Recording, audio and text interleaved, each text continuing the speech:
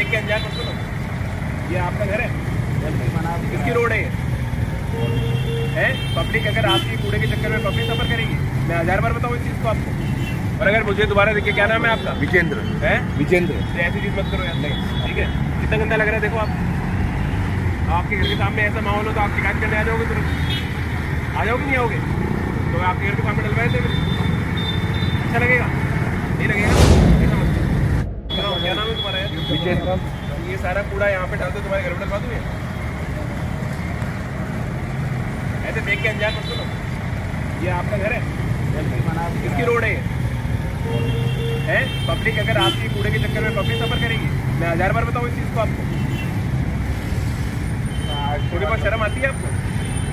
इतना बड़ा होटल चला रहे हो और कूड़ा यहाँ फेंकोगे? अगर दोबारा से मुझे यहाँ कूड़ा दिख गया तो आपका होटल सील हो जाएगा। समझिए मेरी बात? तो पहली और आखिरी बार समझा रहे हैं। इनका भी वो एग्रीमेंट करो डोर टू डोर कलेक्शन वाली गाड़ी आएगी नगर पालिका से।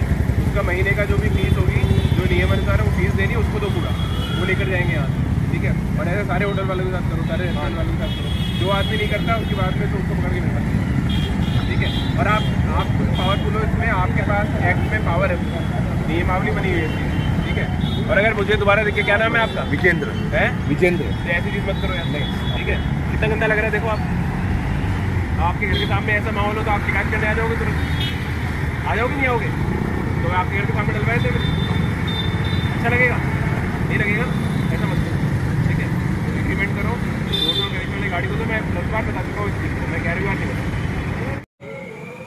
पूरा कचरा सामने डाल देता है हमारी दो दो कलेक्शन वाली गाड़ी आती है ना सुबह शाम उसके नहा और वो उसका पे करेगा तो उसके एग्रीमेंट होता है उसके बेसिस पे पानी में पैसे एग्रीमेंट कर लो और अगर नहीं करना है तो मैं कूड़ा अगर मुझे मान लीजिए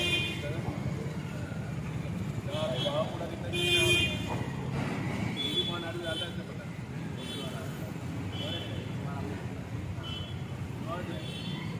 नमस्कार, मैं हूँ रवि सक्सेना। अगर आपको मेरी ये वीडियो अच्छी लगी हो तो आप सब्सक्राइब और लाइक ज़रूर कीजिएगा।